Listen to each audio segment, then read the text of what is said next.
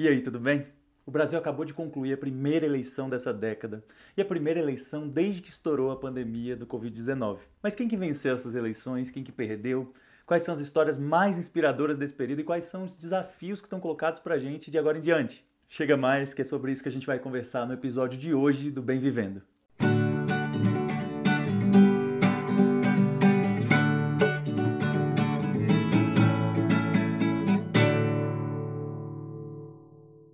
Para começar, eu queria agradecer muito todo mundo que tem acompanhado a cobertura que eu tenho feito no meu Instagram ou no meu Twitter também, tanto das eleições daqui quanto das eleições dos Estados Unidos, das eleições na Bolívia, no Chile e em outros países também. Eu queria te pedir para seguir o canal, para marcar o sininho para receber as atualizações. E se você gostar desse vídeo, comenta e curte aqui também para mais gente ficar sabendo e ter acesso. Quem tiver condições também se interessar em fazer uma doação no apoia do canal, vou ficar muito feliz, porque é justamente o apoio dessas pessoas que permite que eu esteja aqui fazendo esse trabalho hoje. Nessa madrugada, muita gente vinha me perguntando se essas eleições tinham realmente muita importância, e eu tenho ressaltado sempre que sim. Embora a eleição sozinha não transforme realidade, ela marca processos históricos importantes mesmo em condições tão estranhas para ela acontecer como essa de agora. No meio de uma pandemia mundial, a gente viveu uma abstenção recorde de 23,14% em comparação com 17,58% de 2016. Só que mesmo assim, se a gente parar para pensar nessas condições, nos riscos para a saúde,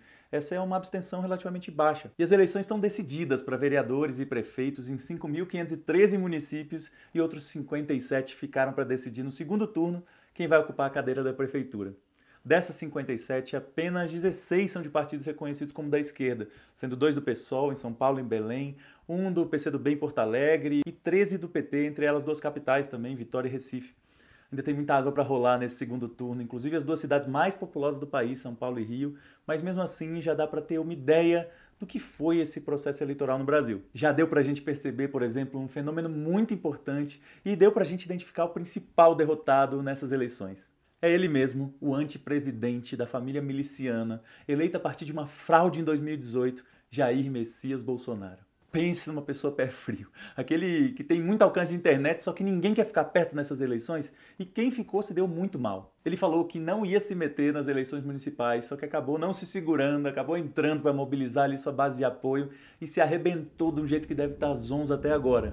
O Russomano em São Paulo teve um desempenho o Crivella também, que era apoiador dele, quase ficou fora do segundo turno. Isso manteve mais, na verdade, por uma base fundamentalista religiosa do que por qualquer apoio do Bolsonaro. Em Belo Horizonte, Recife, Manaus, não deu outra. Era só dizer que o Bolsonaro estava apoiando, que o candidato derretia intenções de voto, e isso acabou se materializando nas urnas também. O único candidato dele que foi relativamente bem foi o Capitão Wagner, que está no segundo turno da Prefeitura de Fortaleza. Só que, para ser justo, o Bolsonaro até que apoiou ele, só que o candidato fez de tudo para esconder o apoio do antepresidente e deve esconder mais ainda agora nesse segundo turno. A vergonha foi tanta que Bolsonaro apagou os posts de apoio aos candidatos no Twitter para fingir que essa derrota não aconteceu. E outros também que vieram na onda do bolsonarismo antes e agora já estão descolados, como o cara lá, o Arthur Duval, do Mamãe Falei, a Joyce Halseman também passaram uma vergonha danada e o próprio membro da família, o Carluxo, que tinha tido uma votação enorme em 2018, derreteu. Ele diminuiu em 30% seus votos e ficou atrás do vereador Tarcísio, professor do PSOL e o mais votado na cidade do Rio de Janeiro. E Bolsonaro é inacreditável, né? Assim, ele ainda saiu, mesmo assim, cantando vitória desse final de semana, falando sobre o fim da esquerda, consolidação de uma onda conservadora. Mas é isso, né? O Trump também estava falando até agora que ganhou nos Estados Unidos, enfim. E vale lembrar que o PSL, que emprestou a legenda para a maior parte dos candidatos do partido miliciano, Aliança pelo Brasil, que também ainda não não conseguiu assinatura suficiente para ser criada até o momento, não elegeu nenhuma prefeitura em capitais no primeiro turno. Eles vão tentar diminuir esse resultado agora no segundo turno, mas ainda não está dado. No fim, foi uma derrota imensa do bolsonarismo, que nessas eleições tinha chance de receber um voto de confiança da população avaliando esse período de governo. Era uma eleição, mas era quase um referendo de aprovação do bolsonarismo. E aconteceu o que a gente viu também nos Estados Unidos. Bolsonaro e Trump perderam a principal aposta deles. A população rejeitou profundamente a gestão assassina e anti-ciência na pandemia, não esqueceram que no pior momento da vida dessas pessoas, tanto Bolsonaro quanto Trump salvaram os bancos, salvaram os bilionários que lucraram como nunca e abandonaram o povo para ter que escolher entre morrer da fome ou do vírus, com auxílio que muita gente não recebeu e quem recebeu não conseguia nem pagar seu aluguel com ele. As pessoas não esqueceram que no meio da pandemia eles passaram a boiada nas políticas de retirada de direito das populações, não esqueceram a destruição recorde da natureza no Brasil inteiro pelos ruralistas, com o apoio do Bolsonaro e do seu antiministro do Meio Ambiente, Ricardo Salles. Não esqueceram as ameaças de golpe, de AI-5. Não esqueceram os passeios de jet ski em dias de recorde de mortos pela, pela Covid. As frases que chamavam de gripezinha e tudo mais que fez o Brasil ser o segundo país com mais mortes no mundo. As pessoas não esqueceram as fake news, que ainda estavam tão presentes nessa eleição também. Nem o financiamento privado de empresas velado. Nem tudo isso fez as pessoas esquecerem a vergonha que é ter um presidente totalmente isolado no mundo, mergulhado até o pescoço em denúncia de corrupção dele e dos seus filhos com um envolvimento cada dia mais evidente com a milícia e com outros setores do crime organizado e tudo mais. Dessa vez não teve aquilo de aparecer do nada um candidato falando de ditadura militar, em kit gay e estourar de votos na eleição, não. Felizmente. Na verdade, o Bolsonaro tem sorte de que aqui no Brasil não tem um instrumento democrático importante de recall das eleições, né? Que na Venezuela, por exemplo, é chamado de referendo revogatório, né? Porque se tivesse, se fosse a continuidade do governo Bolsonaro sendo votada nesse domingo, a gente teria de vez mostrado para a extrema-direita que o país acordou daquele transe coletivo que entrou em 2018. Para quem falava que o Brasil não precisava cuidar do Covid porque a gente ia alcançar uma imunidade de rebanho, embora a gente ainda tenha muita preocupação em relação à saúde, pelo menos em relação à política, agora a gente já pode estar tá vendo um povo aprendendo a expurgar um vírus que atacou terrivelmente o nosso país. Esse desfecho aí com a resposta do povo ficou para agora, para ser feito nas ruas todos os dias e também nas urnas lá em 2022. Mas se as coisas caminharem como elas estão, o Brasil vai ser mais um país onde a extrema-direita frauda eleições para chegar no poder, que nem nos Estados Unidos, mas não conseguem entregar a política verdadeira e são derrotados logo em seguida. É isso, é importante ser sério, né? Os dois países são muito diferentes, não é uma relação automática de replicação. Só que esse cenário está se mostrando cada dia mais possível. Agora, se tem um setor que está nesse momento comemorando muita vitória, é a direita liberal. Principalmente aquela dita do centrão político que de centro não tem nada porque é direita, né? Esse setor aí tinha vivido mesmo que a Bolívia acabou de viver, né? Que eles deram um golpe em 2016 aqui no Brasil, entraram com um governo ultra neoliberal para destruir os direitos trabalhistas, para privatizar tudo, para orientar a economia para os super ricos e acabaram em dois anos tendo um desempenho tão terrível com o Temer, antepresidente Michel Temer, né, terminando o governo com 3% de aprovação e fazendo acordo para não ser preso. Isso fez com que a direita liberal derretesse e fossem substituídos na liderança do bloco conservador do país pelo bolsonarismo. Agora, nessas eleições, esse setor começa a demonstrar força para disputar de novo um protagonismo do bloco conservador. Né? Partidos como o PSD, o MDB retomaram uma votação expressiva e o DEM, que foi o que mais elegeu, né? voltando a ter protagonismo desde quando era o Arena, partido da ditadura militar, depois virou PFL agora Democratas. Né? Esse partido recebeu muita gente migrando de outros partidos de direita e seguiram a tendência nessas eleições de que quem estava com uma avaliação razoável na gestão de prefeituras e não era bolsonarista, tiveram um bom resultado eleitoral, com muitas pessoas reeleitas. E é importante a gente ter atenção para isso, porque para além das capitais e dos grandes municípios, esses setores da direita liberal são os que dominam as bancadas no Congresso Nacional, são os que dominam pequenos e médios municípios e mantêm esse sistema sob a hegemonia do bloco conservador. E aí, com todos os problemas do sistema político, né? um sistema capturado pelo poder econômico, injusto em tempo de televisão, desigual no financiamento público, sem debates dessa vez, com voto coercitivo por pistoleiro, capanga, miliciano, com a compra de voto, com tudo de errado, esse pessoal segue se beneficiando do sistema como ele é.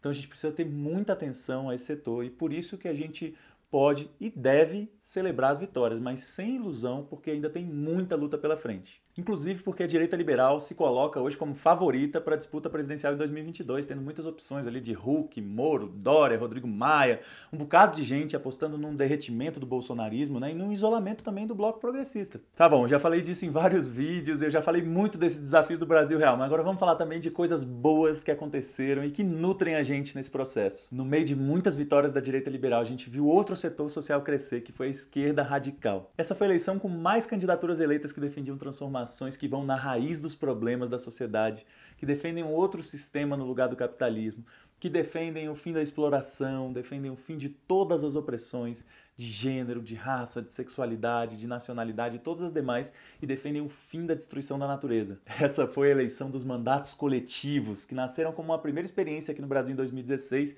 Depois eu e várias outras formiguinhas lançamos outros em 2018 e agora eles floresceram aos montes em tudo quanto é lugar. Teve mandato coletivo do Bem Viver em Floripa, teve bancada feminista em São Paulo, teve mandato de mulher negra e periférica em Fortaleza e muitos outros muito massa. Teve muita candidatura rompendo as amarras e trazendo radicalismo para as eleições. O ecossocialismo cresceu muito, liderando votações em municípios. As bancadas feministas, antirracistas, LGBTfóbicas tomaram as cidades. A gente viu uma disparada nas eleições de indígenas, com Marquinhos Chucuru se tornando prefeito em Pesqueira, em Pernambuco.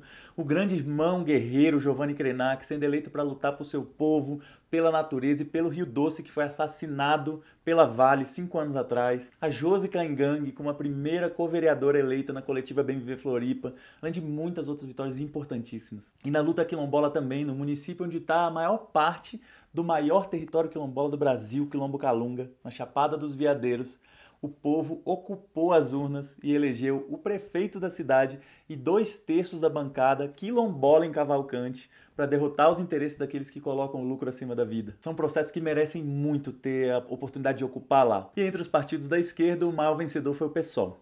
Esse partido acabou de completar 16 anos de existência e ele nasceu como uma resposta à esquerda para a conciliação de classe e fez muito bonito nessa eleição, tendo o melhor resultado desde a sua fundação, chegando no segundo turno em duas capitais, inclusive Belém, com Edmilson ali na frente, com uma candidatura com muita atenção à natureza no coração da Amazônia. E o PT também, que em 2016 teve uma queda muito forte, né? caiu em 60% o número de prefeitura em relação a 2012, começou a mostrar sinais de recuperação também, ainda embora em um ritmo lento. O partido ainda não elegeu nenhuma prefeitura em capitais até o momento, mas tem boa chance no segundo turno, que está com 13 candidaturas disputando prefeitura, e a chance de sair desse processo com um pouquinho mais de fôlego. A gente teve candidaturas inspiradoras espalhadas pelo país também que mereciam muito. E lutaram muito, batalharam muito, só que não passaram pelos limites do sistema político mesmo, pelo coeficiente eleitoral e principalmente, assim, até casos de pessoas que foram as mais votadas na cidade ainda assim não entraram. Candidaturas da esquerda em vários lugares passam por isso mesmo, né? Inclusive o PCB e a UP que não conseguiram eleger representantes nessa eleição,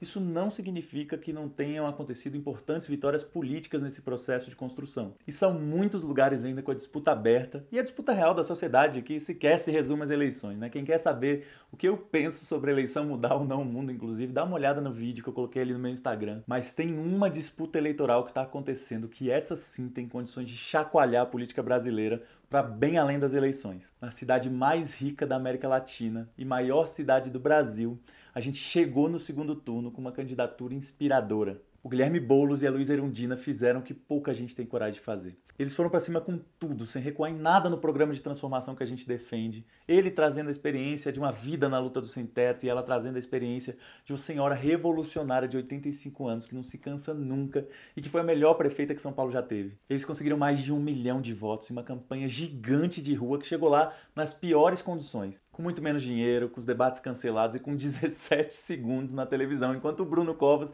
tinha 3 minutos. E agora a coisa muda. Agora o tempo de TV é igual. E pelas redes sociais, e pelas ruas, e pelos bairros, a gente vai vendo esse movimento crescer e as pessoas já estão percebendo a possibilidade de uma onda tomar São Paulo nesses dias. Vai ser bonito demais e quem tiver a oportunidade de participar disso, não perca. Dá pra gente realmente começar uma grande transformação nessa cidade, apontar um caminho para o país totalmente diferente do que o que está planejado pelos 0,01% do topo da pirâmide social, do andar de cima, né? É importante lembrar que em São Paulo 30% das pessoas que podiam votar não foram para as urnas e podem se inspirar aí, e que mais de 70% das que votaram não votaram no atual prefeito. Então tem muito espaço para dialogar, para virar voto, para fazer banquinha, para fazer um processo de massa e dar um salto na disputa dos rumos do país. São duas pessoas que eu conheço pessoalmente, que eu sei da integridade, que eu partilhei lutas, apertos, momentos difíceis, mas também momentos muito bons de conquista de moradia a partir da luta, de mutirões coletivos de bioconstrução para casas do futuro. E eu fico feliz demais só de imaginar na quantidade de histórias que nutrem a minha vida, que marcaram para sempre, que vão se multiplicar muito se a gente consegue ocupar a prefeitura e construir uma São Paulo de assembleias populares, da força vindo de fora para dentro, onde o povo manda e o governo obedece. As eleições municipais costumam ser assim mesmo, costumam ter um resultado pulverizado, né? E cada setor acaba celebrando suas vitórias, apesar de que o Bolsonaro deve estar procurando ainda as vitórias que ele pode celebrar, né? Mas nós que queremos construir uma nova sociedade no lugar dessa, sabemos que o caminho é seguir lutando seguir construindo no cotidiano, dentro e fora da institucionalidade, fazendo o trabalho de formiguinha e juntando gente para essa nossa grande missão histórica de acabar com o sistema mais cruel, mais destrutivo e mais perigoso que a humanidade já inventou, que é o capitalismo, e colocar no lugar dele uma sociedade do bem viver. A gente celebra cada uma das importantes vitórias de agora e a gente usa isso daí como acúmulo de força para a batalha do cotidiano, dos territórios, que é onde a gente decide o futuro do nosso país. Quem está nessa batalha do segundo turno, não deixa de acessar o vídeo que eu publiquei antes aqui no Bem Vivendo, que é como conversar com as pessoas, que fala sobre técnicas mesmo, para a gente estreitar esse diálogo, criar relações de confiança. E eu agradeço demais você por ter vindo aqui partilhar essa análise das eleições de 2020 aqui no Brasil. Se você gostou desse vídeo, curte, comenta, compartilha nos grupos de WhatsApp, de outras redes também e se inscreve aqui no canal para você ver os vídeos anteriores e para você receber os próximos também. E se você puder, dá uma força lá no Apoia-se do Bem Vivendo, que é a forma que eu consigo realizar esse trabalho aqui junto com vocês nesse canal que está virando uma comunidade, está chegando uns 40 mil inscritos. Valeu demais, pessoal. Nós estamos juntos. Um grande abraço e vamos embora transformar esse mundo.